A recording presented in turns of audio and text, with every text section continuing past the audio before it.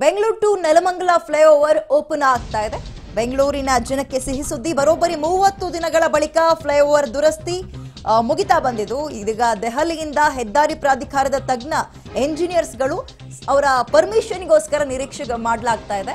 ಅವ್ರು ಓಕೆ ಅಂದ್ರೆ ಈ ಫ್ಲೈಓವರ್ ಇನ್ನ ಓಡಾಡಬಹುದು ದಿನದಲ್ಲಿ ಫ್ಲೈಓವರ್ ಸಂಚಾರಕ್ಕೆ ಮುಕ್ತ ಅಂತ ಕೂಡ ಹೇಳಲಾಗ್ತಾ ಇದೆ. ಬೆಂಗಳೂರಿನಿಂದ ಇದ್ಯಾಕೆ ಈ ಫ್ಲೈಓವರ್ ಇಷ್ಟೊಂದು ಪ್ರಾಮುಖ್ಯ ಅಂದ್ರೆ ಬೆಂಗಳೂರಿನಿಂದ ಸುಮಾರು ಮುಕ್ಕಾಲು ಕರ್ನಾಟಕಕ್ಕೆ ಸಂಪರ್ಕ ಕಲ್ಪಿಸುವಂತಹ ಫ್ಲೈಓವರ್ ಇದು. ಆದ್ರೆ ದುರಸ್ತಿ ಕಾರ್ಯ ಆಗ್ತಾ ಇತ್ತು. ಸುಮಾರು ಒಂದು ತಿಂಗಳಿಂದ, ಮೂವತ್ತು ದಿನಗಳಿಂದ. ಇದೀಗ ದೆಹಲಿಯ ಹೆದ್ ದೆಹಲಿಯಿಂದ ಹೆದ್ದಾರಿ ಪ್ರಾಧಿಕಾರದ ತಜ್ಞ ಇಂಜಿನಿಯರ್ ಸಮ್ಮತಿಯ ನಿರೀಕ್ಷೆ ಮಾಡಲಾಗ್ತಾ ಇದೆ. ಓಕೆ, ಮತ್ತಷ್ಟು ಮಾಹಿತಿ ನಮ್ಮ ಪ್ರತಿನಿಧಿ ಪವಿತ್ರ ನೀಡ್ತಾರೆ. ಲೈವ್ ಜಾಯ್ನ್ ಆಗ್ತಾ ಇದ್ದಾರೆ. ಪವಿತ್ರ ಈ ಈ ಒಂದು ಫ್ಲೈಓವರ್ ಚೆನ್ನಾಗಿದ್ದಾಗ ಬೆಂಗಳೂರಿನ ಎಷ್ಟು ಜನ ಇದನ್ನ ಓಡಾಡಕ್ಕೆ ಬಳಕೆ ಮಾಡ್ತಾ ಇದ್ರು. ಅಷ್ಟೇ ಸಮಸ್ಯೆ ಆಗಿತ್ತು ಈ ಫ್ಲೈಓವರ್ ಒಂದ್ ರೀತಿ ಸರಿ ಇಲ್ಲ, ಸಮಸ್ಯೆ ಆಗಿದೆ ಅಥವಾ ದುರಸ್ತಿ ಕಾರ್ಯ ನಡಿಬೇಕಾದ್ರೆ. ಏನಂತೀರಿ ಪವಿತ್ರ? ಖಂಡಿತವಾಗ್ಲು. ಯಾಕಂದ್ರೆ ಇಲ್ಲಿ ಪ್ರತಿನಿತ್ಯವೂ ಕೂಡ ವಿದ್ಯಾ, ಒಂದ್ ಅರವತ್ತರಿಂದ ಒಂದು ಲಕ್ಷ ವಾಹನಗಳು ಪ್ರತಿನಿತ್ಯವೂ ಕೂಡ ಓಡಾಡ್ತಾ ಇದ್ವು. ತುಂಬಾ ಊರುಗಳಿಗೆ ಕನೆಕ್ಟ್ ಬೆಂಗಳೂರಿನಿಂದ ಬೇರೆ ಬೇರೆ ಊರುಗಳಿಗೆ ಕನೆಕ್ಟ್ ಮಾಡುವಂತಹ ರಸ್ತೆ ಇದು. ಆದ್ರೆ ದಿಢೀರಾಗಿ ಡಿಸೆಂಬರ್ ಇಪ್ಪತ್ತೈದರಂದು ಯಾವಾಗ ಇದು ಪಿಲ್ಲರ್ನಲ್ಲಿ ದೋಷ ಕಾಣಿಸ್ಕೊಂಡಿತ್ತು, ಕೇಬಲ್ ಕಡಿತ ಆಗಿ ಅಲ್ಲಿಂದ ವಾಹನ ಸವಾರರು ದಿನನಿತ್ಯ ಪರದಾಟವನ್ನ ಪಡ್ತಾ ಇದ್ದಾರೆ. ಒಂದು ವಾರದಲ್ಲಿ ನಾವು ಸರಿ ಮಾಡಿ ಕೊಡ್ತೀವಿ ಅಂತ ಡಿಸೆಂಬರ್ ಇಪ್ಪತ್ತೈದರಂದು ಎನ್ ಎಚ್ ಅಧಿಕಾರಿಗಳು ಹೇಳ್ತಾರೆ.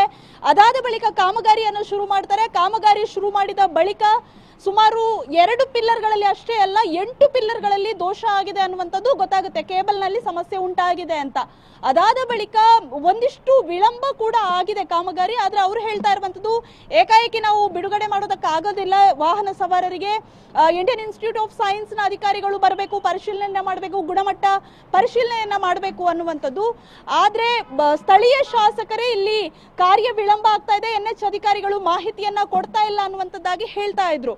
ಯಾಕಂದ್ರೆ ಇಲ್ಲಿ ತುಂಬಾ ವಾಹನಗಳು ಈಗಲೂ ನೋಡ್ತಾ ಇರ್ಬೋದು ಎಸ್ಪೆಷಲಿ ಇದು ವೀಕೆಂಡ್ ಬಂತು ಅಂದ್ರೆ ಹೆವಿ ವೆಹಿಕಲ್ ಜಾಮ್ ಆಗುತ್ತೆ. ತುಂಬಾ ವಾಹನ ಸವಾರರು ಹತ್ತರಿಂದ ಹದಿನೈದು ನಿಮಿಷದಲ್ಲಿ ಹೋಗುವಂತಹ ವಾಹನ ಸವಾರರು ಸರಿಸುಮಾರು ಎರಡರಿಂದ ಮೂರು ಗಂಟೆಗಳ ಕಾಲ ಈ ಒಂದು ಹಾದಿಯನ್ನ ಕ್ರಾಸ್ ಮಾಡೋದಕ್ಕೆ ಬಳಸ್ಬೇಕಾಗುತ್ತೆ. ಸೊ ಹಾಗಾಗಿ ತುಂಬಾ ವಿಳಂಬ ಆಗ್ತಾ ಇದೆ. ಆದ್ರೆ ಈಗ ಬುಧವಾರ ಅಥವಾ ಗುರುವಾರ ಈ ರಸ್ತೆಯನ್ನ ಮುಕ್ತ ಮಾಡ್ತೀವಿ, ವಾಹನ ಸಂಚಾರಕ್ಕೆ ಅನ್ನುವಂತಹ ಮಾತನ್ನ ಹೇಳ್ತಾ ಇದ್ದಾರೆ. ಆದ್ರೆ ಈ ಹಿಂದೆ ಕೂಡ, ಒಂದು ತಿಂಗಳ ಹಿಂದೆ ಕೂಡ ಗಡುವನ್ನ ಕೊಡ್ತಾನೆ ಬಂದಿದ್ರು. ಸೊ ಹಾಗಾಗಿ ಈ ಬಾರಿ ಈ ರೀತಿಯ ಗಡುವು ನಿಜವಾಗ್ಲೂ ವರ್ಕೌಟ್ ಆಗುತ್ತಾ ಏನು ಅನ್ನುವಂಥದ್ದು ನೋಡ್ಬೇಕಾಗಿದೆ.